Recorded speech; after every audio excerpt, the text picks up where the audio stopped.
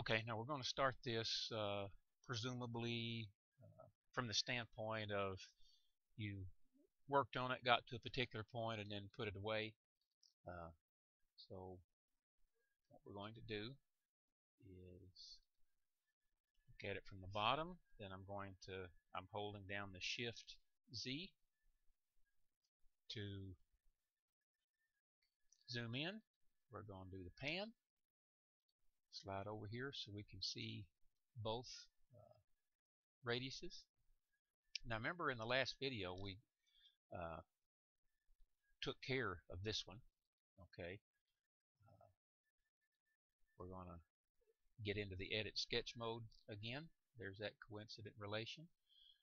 Uh, so then what we're going to do now is we're going to click that one and then we're going to click the uh, convert entities. And that got the little box there. So we're good to go. We should now have what we see in figure 5.29 on page 157 and now then at this point in the game we're going to select the line tool. Okay. and this is going to be a little bit tricky.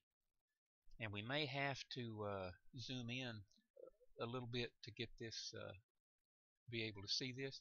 But that right there that orange box is the center of the arc and we do not want to click on that okay?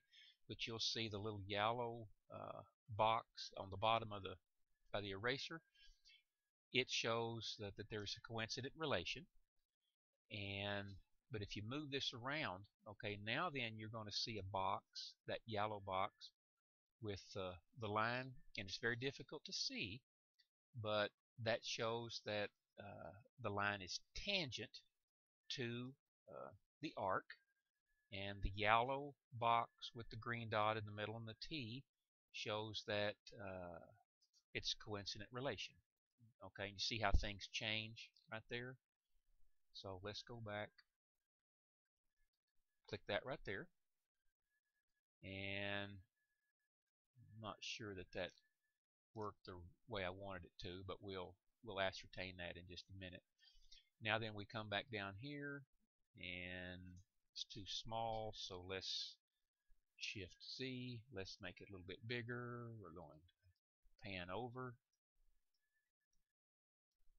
Okay we're going to hit escape and we do our so now then, okay, right there is exactly where we want to do. You see the circle with the uh, little line beside it and the coincident relation beside it.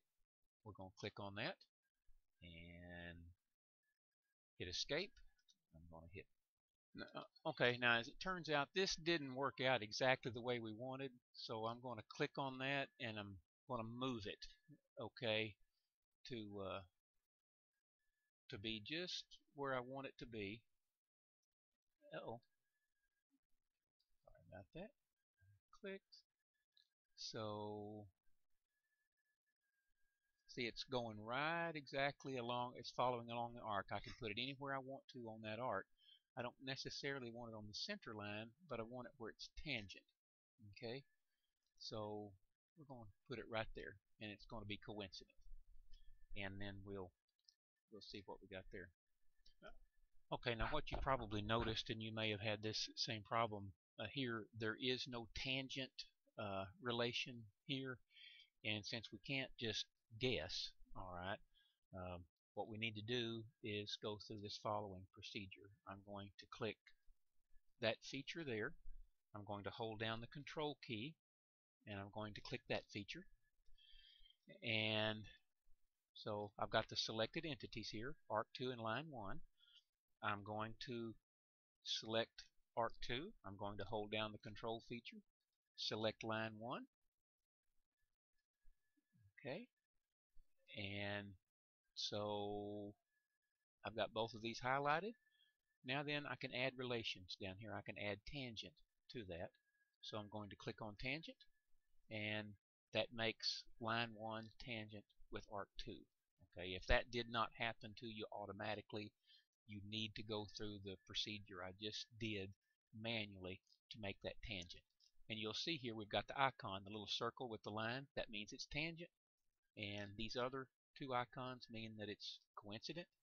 Let's take a look briefly at uh, this one down here and you've got the same thing. You've got the tangent icon and you've got the coincident icon. So we'll click escape to get out of that and we'll take a look at our next uh, next steps. Okay, so now I'm going to hit escape to get everything back to normal. We are going to hit the shift Z and zoom in on one of the arc things there. And what we're going to do now is we're going to trim this portion of the arc. Okay, that's going to be our goal here. Uh, so we've zoomed in. We're going to click on Trim Entities. Okay. Then we're going to do Trim to Closest. This option here. And then we're going to click on the portion of the arc that we want to remove. And that's that one right there.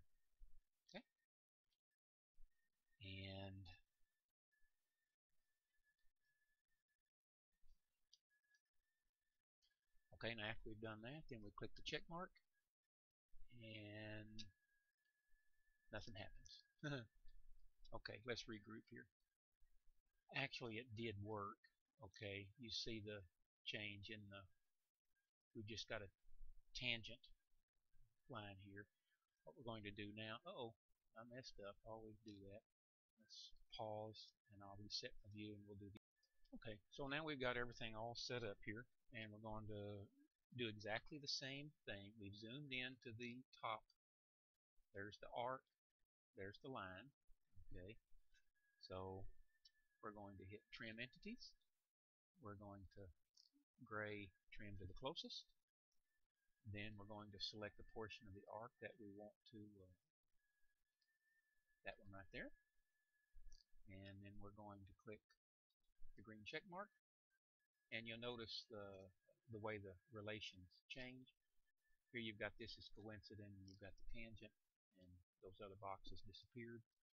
So we've added the two lines indicated and we're going to uh, close the sketch contour. That's what we've done.